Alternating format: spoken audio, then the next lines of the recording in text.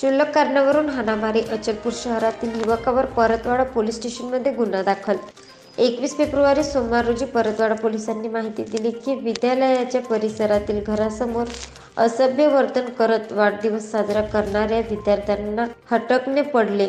महागात शहरातील समर्थकाला महाविद्यालयाचे शिपाई पदावर कार्यरत असणारे बबनू काळे यांचे महाविद्यालयासमोरच घर असून रविवार वीस फेब्रुवारी रोजी मुक्त विद्यापीठाची ऑनलाईन तासिका किंवा ऑनलाईन परीक्षेसाठी दोन ते तीन वाजेच्या सुमारास आलेल्या काही विद्यार्थी व विद्यार्थिनींनी असभ्य वर्तन करत काळे यांच्या घरासमोर वाढदिवस साजरा कर करत असताना तक्रारदाराच्या बहिणीने त्यांना हटकले असता यातील काही विद्यार्थ्यांनी तिला अर्वाच्य भाषेत केली.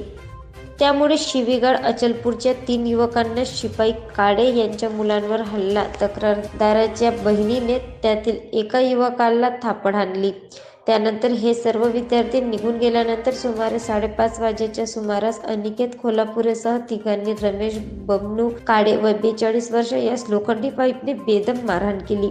कला समर्थ महाविद्यालयासमोर निवासरत असणारे बबनू काडे यांचा मुलगा रमेश काडे यास अचलपूर येथील अनिकेत कोल्हापुरे सह तिघांनी रविवारी वीस फेब्रुवारी रोजी येऊन आमच्याशी तुझ्या बहिणीने वाद का घातला?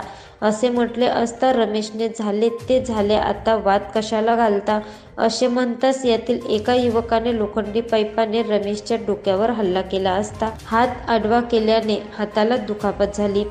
याच दरम्यान रमेशचा भाऊही मदतीला धावला असता त्यालाही लोखंडी पाईपने जखमी केले. रमेश बबनू काडे यांच्या फिर्यादीवरून अचलपूर निवासी अनिकेत खोलापुरे कलमसह अधिक तिघांवर तीनशे सव्वीस पाचशे चार चौतीस अन्वय गुन्हा दाखल करण्यात आला. पुढील तपास परतवाडा पोलीस करत आहे.